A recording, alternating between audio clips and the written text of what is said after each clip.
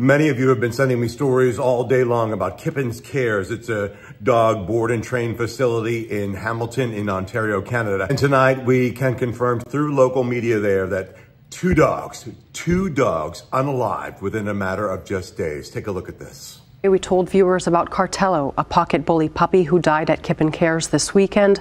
Today, a second pet owner says her dog also died at the same business within hours of Cartello. I wake up every morning thinking, oh, I'm going to go see Sammy and we're going to have some pets and then we're going to go outside and they're going to have a pee.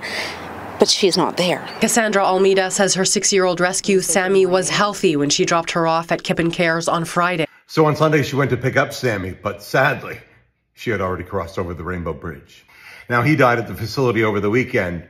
Kippens allegedly stored the body in the freezer. In a statement sent to CHCH today, Kippen said, I have no comment at this time. The death of Cartello is a tragedy, and my thoughts are with his family at this time of loss. She did not respond to CHCH's questions about Sammy.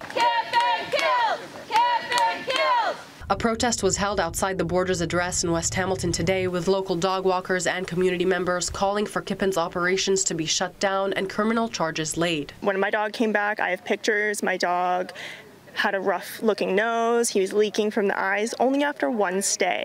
One stay. There's been a lot of other allegations as far as abuse, um, different animals going home soaked in urine or having ammonia on them or having staph infections or just bumps and bruises all over them. How many dogs have to die? Hamilton police said today that the Provincial Animal Welfare Service PAWS has jurisdiction over the ongoing inspection of this business. A spokesperson for Hamilton Animal Services confirmed that as of August 2023, Kippen Cares owned three dogs, but PAWS is responsible for removing animals due to abuse or neglect, and the city does not have authority in this circumstance. I hear the dogs like barking in distress and they're whining. Hamilton Animal Services says at least six administrative penalties have been issued to the business or its owner since 2021. They include operating without a license, failing to keep the area where animals are kept clean and sanitary, keeping more than four animals, failing to renew a dog license before it expired, failing to license a dog, and permitting an animal to make noise likely to disturb.